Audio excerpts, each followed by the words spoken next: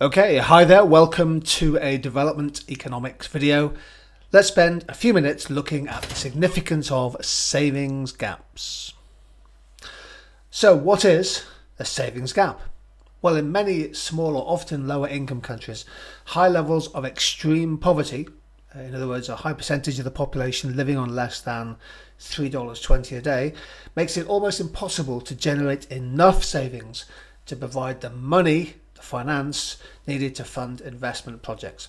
Hence, in many countries, there's a gap between the savings they have and their investment needs, and this increases their reliance on, for example, overseas aid and also external debt.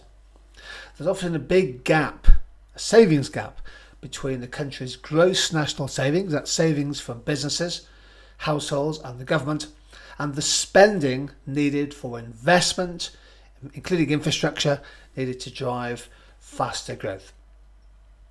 This links to the Howard Domar growth model, which is a simple model which explains the significance of savings in terms of financing investment and the importance of investment in driving up per capita incomes. If you can lift the level of savings, that should provide the investment funding and finance necessary to increase net capital investment. And if investment goes up, then the size of the country's capital stock then increases. If the country has more capital to work with, more tractors, more machinery, more technology, for example, over time that leads to higher productivity, which generates an increase in real GDP or gross national income. And if that then feeds through to higher per capita incomes, then people then have more money available to save. So there's a positive feedback loop. Let's look at some data on gross national income per capita, savings and investment for selected countries. The data I'm taking is for 2017-18 and the source is the World Bank. Take countries such as Kenya, Rwanda and Malawi. Uh, in those countries, uh, gross national savings are barely above 10% of national income and they fall well below the scale of capital investment needed to drive long term growth. In Kenya, for example, savings just over 10% of GNI, investment less than 20% of GDP. In both cases, savings and investment are lower than that needed, but savings is much lower than investment. Uh, in countries such as Bangladesh and Cambodia, typically in uh, Southeast Asian countries, lower middle income countries, much higher level of savings actually as a share of GDP, perhaps some social, cultural norms at work there. Uh, they have a relatively higher level of capital investment. So, for example, Bangladesh is investing just under a third of its national income, and it does have the savings perhaps necessary to finance it. Interestingly, in countries such as China, very high rates of gross capital investment and a substantial level of gross national savings course, their per capita income is several times higher than countries such as Bangladesh and Cambodia. Look at Mozambique, which has a huge savings gap.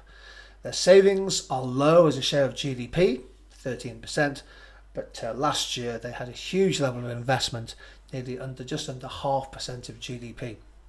A lot of that linked to the discovery and now the investment needed to extract uh, reserves of oil and natural gas.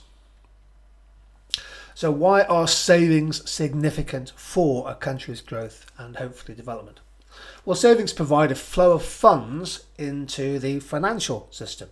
For example, commercial banks, perhaps insurance companies, perhaps pension funds. Savings can then be harnessed, if you like, repackaged to provide credit in the form of loans for business investment, and perhaps important credit for new enterprises and households needing to borrow money. Savings help smooth household spending from month to month, particularly when incomes and jobs fluctuate. And savings often in households are often used to finance the basic education for more than one child. Typically in countries where savings are very low, that might imply first of all that per capita incomes are low, but also that perhaps a country is choosing short-term consumption-led growth over longer-term investment-driven growth. So most economists believe that it is important to lift the level of savings as a share of GDP over time to help fund capital investment. However, there are other ways of overcoming a domestic savings investment gap. One is for a country to attract inflows of foreign direct investment. And you'll know from your study of development economics that many countries are able to do that. Secondly, countries may be able to achieve external development finance from inflows of overseas aid, or perhaps net inflows of remittance incomes from a country's diaspora, people living and working overseas. On the domestic front, governments might try behavioural interventions, behavioural nudges to try to encourage people to save. And more generally, in the long term, you need industrialisation strategies to move uh, output towards higher value added industries where perhaps real wages on average are higher because of course if you can lift per capita incomes people have a greater um, potential uh, ability to save some of their income.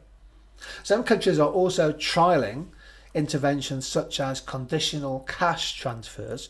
You're giving households cash but conditional on uh, meeting certain um, targets such as immunisation of children and other countries, including the likes of Kenya, are taking trials with a strategy of universal basic income, providing a minimum guaranteed income for each member of a household in poor uh, villages and poor towns in a bid to lift uh, the base, if you like, lift incomes and therefore perhaps generate some household savings.